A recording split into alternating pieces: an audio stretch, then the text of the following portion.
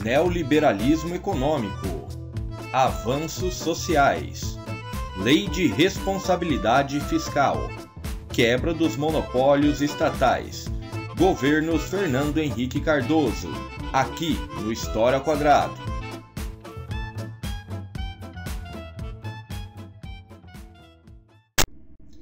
Olá pessoal do canal História ao Quadrado, vamos dando sequência aqui a mais um vídeo sobre a série do Brasil Contemporâneo, ou seja, trabalhando especificamente os governos, os presidentes da República no período pós-redemocratização, ou seja, desde Fernando Collor de Mello até os dias atuais.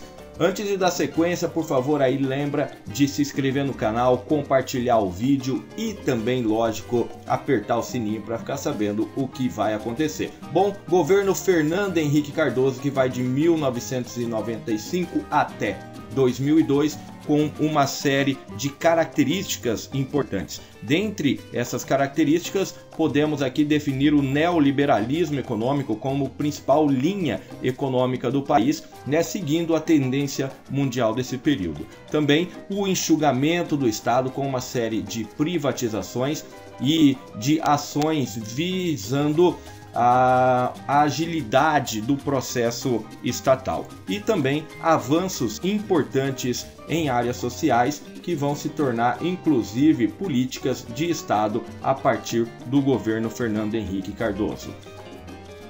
Dentre pontos marcantes aqui, tá?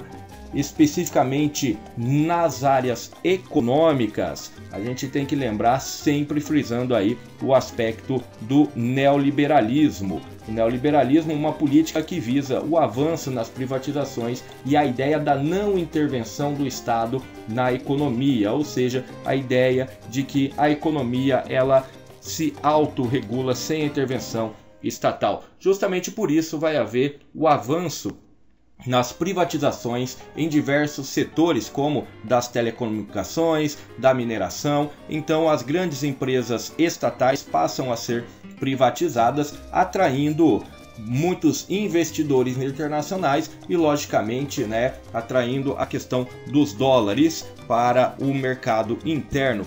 Outra característica da economia vai ser a manutenção dos juros altos, mantendo a estabilidade econômica e principalmente a questão inflacionária em seu lugar. Pontos marcantes nas áreas sociais também, ou seja, né, na questão da proteção dos direitos do cidadão, nós teremos a criação do Bolsa Escola. O Bolsa Escola, que é o princípio do que viria a ser posteriormente o Bolsa Família, é, mantendo, trazendo as crianças para a escola a partir né, da, da contrapartida do Estado financeiramente, o que vai reduzir bastante a evasão escolar e o analfabetismo no Brasil, um avanço bastante importante no setor educacional. Também teremos avanços na reforma agrária, né? É, lembrando que a reforma agrária é uma condição que está prevista na Constituição brasileira e aqui, com a pressão dos movimentos dos trabalhadores sem terra, vai haver alguns avanços nesta área. E interessante também é o programa Saúde da Família que existe até hoje, né? O programa Saúde da Família com a ideia do tratamento na prevenção da doença, o médico da família. Teremos também um programa que vai ser referência mundial, que é o programa de combate ao HIV, inclusive, né, com a distribuição gratuita do coquetel AZT. No entanto, nós teremos, devido a crises mundiais do período, um aumento do desemprego no Brasil, o que vai alarmar a economia e a sociedade. Outro avanço importante na área social é a quebra das patentes dos grandes laboratórios e a implementação dos remédios genéricos. A partir daí, né, ministro Serra, que era o ministro da Saúde.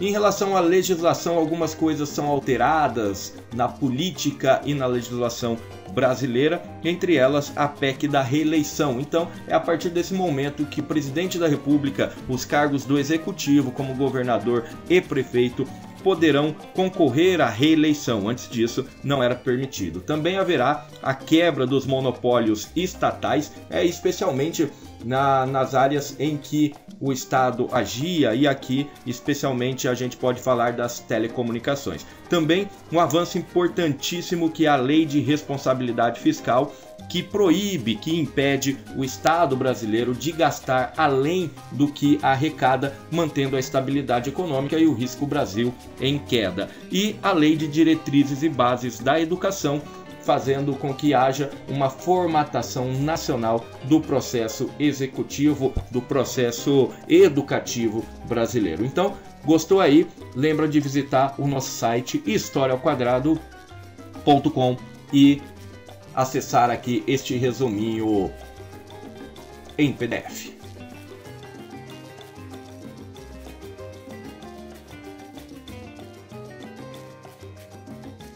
E aí, gostou do vídeo? Então deixe o seu like, aproveita e se inscreva. E ah, ative as notificações para não perder nenhum dos próximos.